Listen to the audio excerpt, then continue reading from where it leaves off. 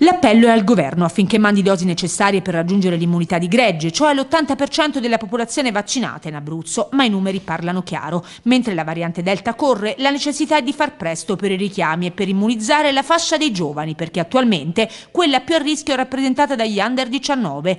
C'è da tener duro sino a mercoledì, a quanto pare, perché sono in arrivo 36 contenitori di Pfizer per 42.120 vaccini in totale.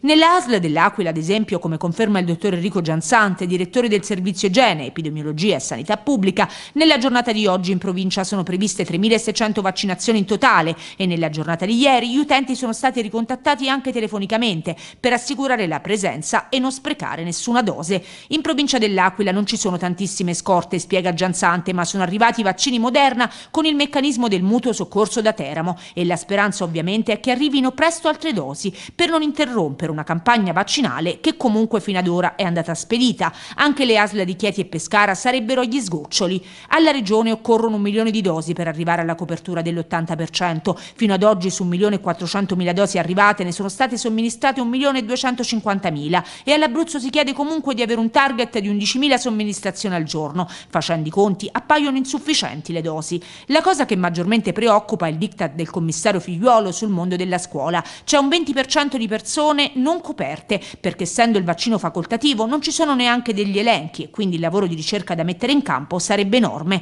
Il coordinatore della campagna vaccinale in Abruzzo, Maurizio Brucchi, sostiene che si sta facendo davvero il massimo. Questa è una cosa che ovviamente non dipende dalle ASL, quella dei rifornimenti, ma chiede al governo Brucchi di mandare le dosi necessarie perché la regione vaccina molte bene, ma il discorso è sempre legato ai quantitativi di dosi.